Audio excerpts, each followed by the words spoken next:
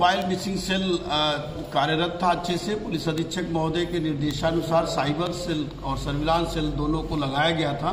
Surveillance surveillance cell प्रभारी और उनकी टीम के द्वारा एक सैकड़ा करीब मोबाइल बरामद किए गए। उनमें कुछ मोबाइल पहले भी उनके स्वामियों को दिए जा चुके थे।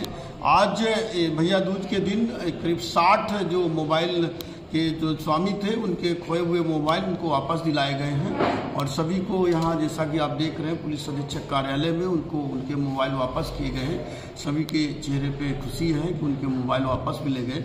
सभी से ये अनुरोध है कि आप अपने मोबाइल संभाल के रखें। और इस आजकल के इंटरनेट की दुनिया में, मोबाइल की दुनिया में, मोबाइल फ़ोन एक अति आवश्यक चीज़ है।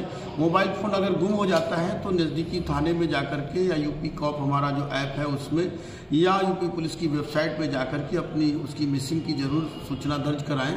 और अगर हमारे पास कोई सूचना मिसिंग की मिल जाती है तो हम लोग हर हालत में प्रयास करके और पूरा प्रयास करते हैं कि उन मोबाइल फ़ोन को बरामद करें। अभी तक हमारे 130 मोबाइल फ़ोन ये दो महीने का अभियान, विशेष अभियान चला था। 130 मोबाइल फ़ोन बरामद हुए थे। आज 60 हमने उनके स्वामियों को वापस किए सत्तर पहले वापस किए जा चुके हैं। ये हमारा अभियान लगातार जारी रहेगा और हम लोग ऐसे मोबाइल फ़ोन जो मिसिंग हो जा रहे हैं, उनको भी बरामद कर रहे हैं। कुछ ऐसे फ़ोन भी थे जो जिन चोरी किए गए थे, उनको भी बरामद किया गया है। चोरी करने वालों के खिलाफ भी विधिक कार्रवाई की गई है। यही आज का काम है।